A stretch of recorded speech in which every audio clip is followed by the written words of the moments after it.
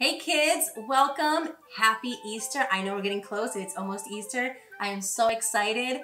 Uh, we have a really neat thing that we're gonna make here. It's, a, it's a baking thing. It's kind of like a little baking experiment. It's called Empty Tomb Crescent Rolls. And Miss Ashley is gonna show us how to make them, right? Yeah, let's get started. Okay, let's go over all the ingredients first. We will need crescent rolls, some melted butter, marshmallows for how many you want to make, um, some cinnamon and sugar mixed together. Um, I already have my uh, grand rolls already uh, laid out. You're also going to need a muffin pan, not a baking sheet this time, which is already sprayed with our vegetable oil spray. Awesome. Okay, so let's get started. So what we're gonna you're gonna start off with is all these already rolled out, and you're gonna start off with a marshmallow. And you're gonna roll it in the butter all over. You want it fully coated. Then you're gonna roll it in cinnamon and sugar. Mmm. You will get messy with this one. But it looks so good. oh yeah, you want it nice and coated. You really want that flavor in there. Then you're gonna put it on one of these, and you're gonna just fully cover it. Yeah. there. And then you're gonna fully cover it. You don't want any gaps in here. To make sure it's sealed really good, right? Mm-hmm. Don't want that marshmallow to be showing at all. You want it nice and tucked away. Nice and rolled up. There we go. That looks so cool. We'll take a little bit. I'm gonna roll it up too, just to double make sure. And that should be good. You're gonna put just a little bit of it in the butter. Cinnamon for more flavor. And that's how you do that. Nice. You're gonna put it in one of these. Now let's do the rest. And while you're doing the rest, can I can I talk about why they're called empty tomb crescent rolls? Of course. Okay, so you keep doing what you're doing, and I'm just gonna kind of explain a little bit. So the reason that these are called empty tomb crescent rolls is that each part of them, they represent something. So what we have right here is we have the marshmallows. Now I don't know about you kids, but I love marshmallows. They are they are sweet, they're they're yummy, they're a nice treat. But in this case, the rep, the marshmallow represents Jesus. Now, if you know Jesus, he came to the earth. You know, he came, you know, he came in as a baby, he grew up, and he ended up dying on the cross for our sins. But Jesus didn't sin. He did not once sin at all. He was pure. He was clean. That's why the marshmallow represents him because it's white. It's pure and it's clean because Jesus never once sinned. He didn't sin at all. When he died on the cross, he died for our sins. That's what he did.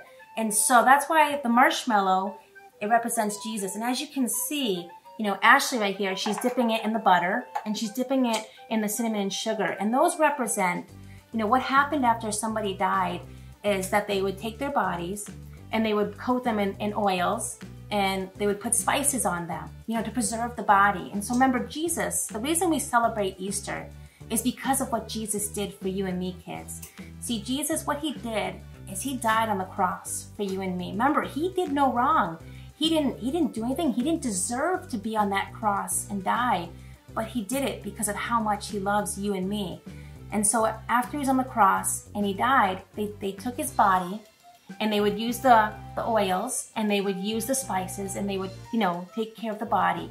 And so that's what the butter and the, the cinnamon sugar represent. Now, as you can see, Ashley, she's got it and she's putting it in the crescent roll. She's making sure that she's uh, putting it in there nice and good so that it's, you know, no cracks or anything. And so the crescent roll, what that represents is the tomb or the grave that they put Jesus' body in. Now, I don't know if you know, but the, the, the tomb that they had was this big, like a rock in the, it was like a big rock thing, and they had like a, a room in it. It was like an open rock. And they would put the body in there, and they rolled a big, huge stone in front of it. And so the crescent rolls that she's um, putting the, the marshmallow in, it, it represents the tomb that Jesus was putting, because they put him in this tomb and rolled a huge, huge, heavy boulder in front of the tomb. Now, the reason they did that is they didn't want anybody to steal Jesus' body because remember, people were saying that Jesus was the Messiah, and we know that he was, that he was, that he is the Messiah. And so they wanted to make sure that nobody could move that stone away, and they couldn't. That stone, that was a heavy, heavy stone. And so that's what the crescent roll, that's what it represents there, is Jesus' body being put inside the tomb there.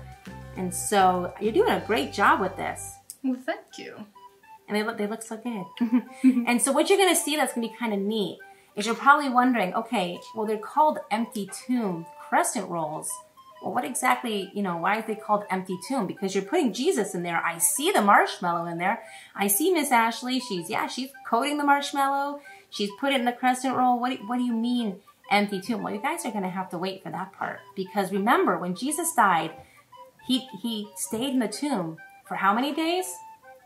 Three days. He was in the tomb for three days. And so in a few minutes, we're going to bake these crescent rolls and that's going to represent the three days that he was in the tomb.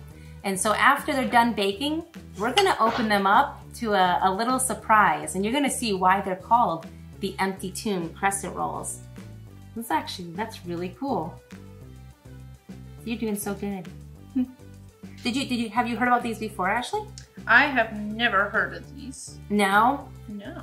I have, honestly, this is the first time making them. I've heard of them, I have never made them. So kids, if you guys, if you're able to make them maybe this week before Easter, I mean, really simple, you know, ingredients, crescent rolls, melted butter, cinnamon sugar, and marshmallows. And it's kind of a cool thing to make. And then, you know, if you have any guests coming over for Easter, you can tell them the story. Use this as a story. Say, Jesus is the marshmallow and talk about the, the oils and the spices and then the tomb, you know, that the crescent roll represents. And the best part is when they're all baked and the surprise that the that you'll see inside. And we're gonna get to that soon. We're definitely gonna get to that soon. So I'm excited for that. All right, so you have one more to do, right? And then we're gonna pop it in the oven there. Yep. And so how long does this have to cook in the oven? Uh, this will be baking for 13 to 15 minutes. 13, and how high do we set the oven at? Three, uh, 375 degrees. All right. I'm excited. They look so yummy. They look really good. You might need to work them a few times. This one's being hard with closing up. yeah, because you have to make sure it's sealed, just like the tomb was sealed, right? Yep, don't want any way that that marshmallow will come out. That's right. That's right. See if it's good.